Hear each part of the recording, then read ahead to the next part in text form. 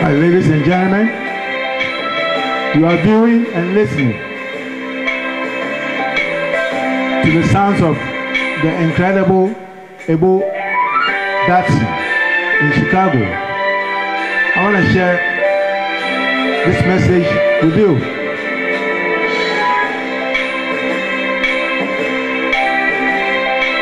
You know,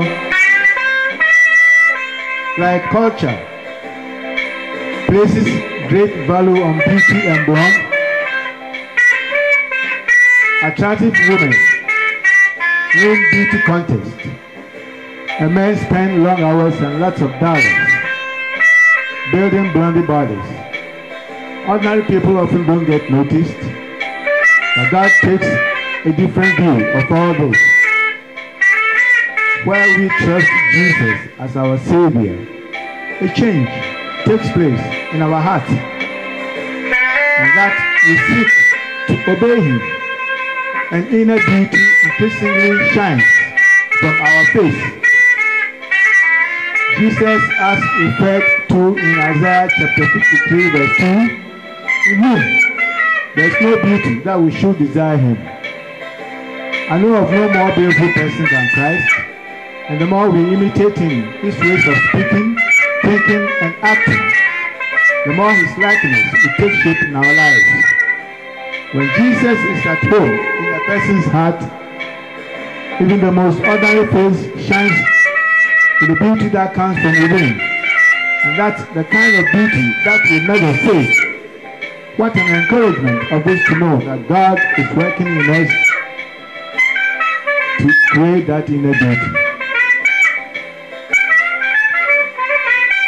Nothing can dim the beauty that shines from within. In Jesus' name. Try always say something to the Lord and the Father.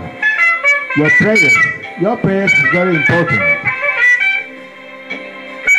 You know, we eat every day, so we can pray every day too.